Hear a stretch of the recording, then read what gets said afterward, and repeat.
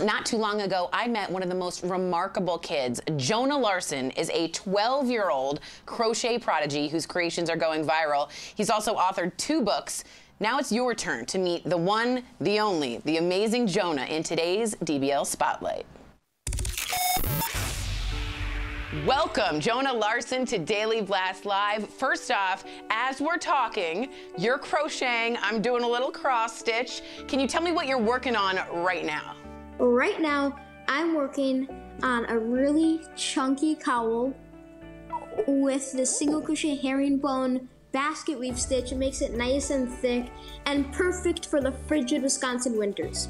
Oh my God, are you like 102? You're so mature. That's amazing. Tell me how you started crocheting. Yeah, it was really a fluke, but it was a wonderful one. It was like a happy accident. I was five years old, and I'll start by saying my aunt was a crafter. She sewed, she cross stitched too, and one day she was cleaning out her basement after she had some craft supplies that she no longer needed, and she brought them over for me. So my mom went on YouTube because you can learn anything from YouTube these days. Found a tutorial on how to make a dishcloth with crochet, and I sat down at our table for about an hour, and I had a pretty well-made dishcloth at five years old. And I'm so proud because I still have it and use it today. Bravo, bravo. Why do you think you love it so much? Well, there's a plethora of reasons I love crochet so much. Of course, for starters, it's really amazing being able to see a ball of yarn turn into a project with just a hook. Yes. And then your hands. And it's also, it's so wonderful and a great way to calm down. And it's very relaxing. As you probably know, if you're cross stitching, you really enjoy to do it after a hard day it, like the repetitive motion is so calming, almost like therapy in a way. You are such a remarkable kid for so many reasons, but one is you wrote a book and you even started a library. What? Tell me about that. Well, I'll start by showing you both of my books, because I have two. Here's the first one. It's Hello Crochet nice. Friends. It's about my autobiography and how I started to learn how to crochet and kind of recounting my story. And the second one, it's a book of oh. patterns called Give Me Back Crochet.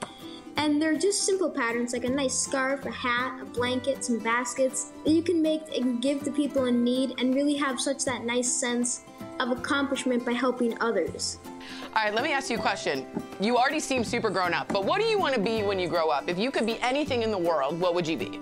As of now, when I grow up, I want to be a surgeon because I think the crochet helps my hand dexterity, and of course, when you're a surgeon, you're saving people's lives. So it just seemed like all the good things in a category. I feel like you would do surgery on someone and then knit them or crochet them like their gown. And what I would do is I would do their surgery and then send them out the door with a crocheted hat. Yeah, like you're unbelievable. All right, so let me see your crochet from what you've done. Let me show show the camera. And it got a whole lot longer. Nice. All right, I'll show you mine. I'm making a Marvel comic book uh, sampler for someone to learn how to read using Marvel characters. These are all superheroes, but to be honest, you're my superhero, Jonah. Thank you very much. That means a lot because superheroes, they're, they're like the Marvel superheroes, and then there's just everyday people doing great things like so many others out there. You're, you should really be thinking about taking my job. Call my agent, call my manager. You are better at this than I. Thank you so much. We so appreciate it.